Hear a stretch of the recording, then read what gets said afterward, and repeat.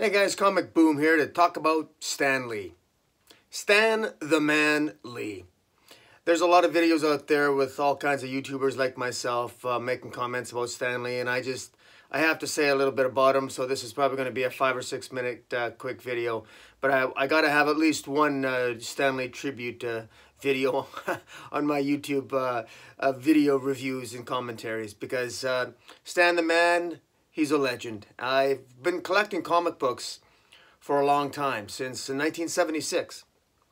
And when I first walked into a comic book shop, if I'm brutally honest, I actually don't remember the exact first time, but I remember the first place. I know I know what place it is. It's an old bookstore, and then they had some old comic books there. And my first experience with comic books, it was more DC comics. Uh, but DC comics, and my first Marvel comic was Spider-Man and Fantastic Four. There was Spider-Man and Fantastic Four comics. And, you know, one thing about Stan Lee that, that always stood out for me is Stan Lee was the first celebrity, real life person that had that I actually saw being associated with comic books because back in the day, you know, you know when you'd read the letters pages and what have you, uh, you didn't. I mean, I, I always knew that there were people that created the comic book stories, obviously, because I, I read the comic books, you know, just, you know, I just ate them up. I mean, I read every page, and so I knew that I became familiar with who the writers and the colorers and the inkers and the, the artists were. Uh, but I never really, you never really saw pictures of them. You never really got a sense of their personality. Well, Stan Lee was the exception, and he was one of the very, he was really the first comic book celebrity. And one of the things that stands out for me, and just uh, just some things that I want to thank Stan for is, you know, Stan Lee, the guy was, he it was he made it chic to be geek before it was chic to be geek. You know, and he did it with that smiling Stan face, and he was really almost he was even almost the first cosplayer. You know before even the days where comic conventions became the norm i mean nowadays comic conventions are amazing. They're huge. There's these huge epic entertainment extravaganzas. But you know back in the early 60s i mean i don't even know when the first comic convention came out. It was probably the late 60s maybe early 70s but i mean there was a, there was those pictures of Stan Lee, you know, laying on the couch, you know, with just the uh, lying on the couch with a comic book covering his privates and the smiling Stan. I mean, he, I mean, it was almost him saying he wasn't dressed up. I mean, Stan Lee was naked lying on that couch, you know, at, and the only thing he had was a was a Batman versus Incredible Hulk DC Marvel crossover covering his privates. I mean, that was Stan, man, Stan Lee, and it wasn't just that he was an epic personality and he wanted to get people into comic books. He did something incredible and phenomenal that was so simple that so just blew us all away, blew all of us away that collected comic books or would come to love them. He, he gave characters flaws like Peter Parker flaws. Nowadays, we take that for granted, and it's always the simplest ideas that gain the most traction. You know, I mean, God forbid, he, he actually gave a character flaws. He made them interesting. I mean, it never occurred to, to DC Comics got to remember when, when Marvel first came out, when Marvel first started publishing comic books, when it became more timely and it became, there was the Atlas expl- uh, implosion in the 19, 1958 and then Marvel Comics came in, into the scene. In 11 short years, Marvel surpassed DC in sales and never looked back. And they've been beaten they've been beating DC in the sales department ever since for the next 50 years after that. From and so that that's absolutely phenomenal. And and DC couldn't figure out what Stan Lee was doing. They couldn't figure out what he was doing different with his stories.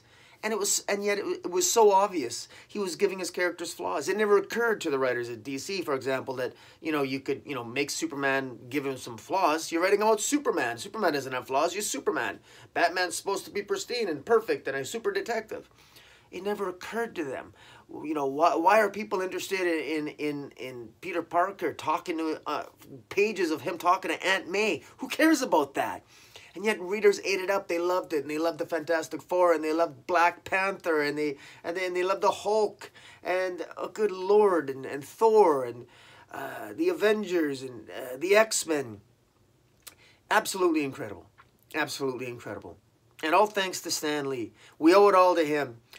I can't imagine reading, uh, reading and reviewing a comic book and not talking about a character that has, doesn't have some flaws. It's the flaws that make them interesting. And as simple a concept as that is, we owe it all to Stan Lee. And I love the fact that Stan Lee was a person who loved comic books right to the bitter end. And it wasn't a bitter end. It was a fantastic, well, no, it was a fantastic, it was a fantastic life. I mean, he, he lived to the age of 95. There might have been some darker moments near the end there, but give the guy a break. I mean, he's, he lived life like the characters that he wrote.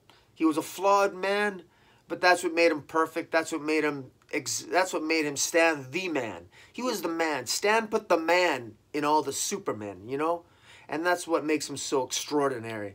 DC may have had Superman, but Stan Lee, without the man in the metahuman, without the man in the mutant, well, what's what's the point? What, what's the what's the point of reading it? There's no flaws. Better a diamond with all with a flaw than a pebble without, right? As that saying goes. And that's Stan.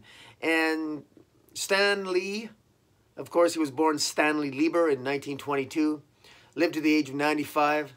Stan Lee, he just took his first name and he expanded it. And, well, the rest is history.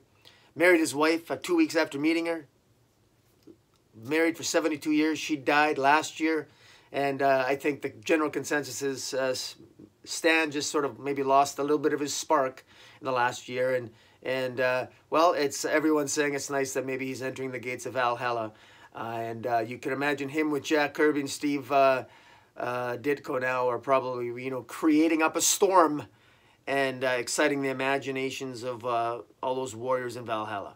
That, that, that would be, that's, that sounds to be pretty epic. I'm sure somewhere, maybe Alex Ross will draw the picture of those three collaborating. That would be epic.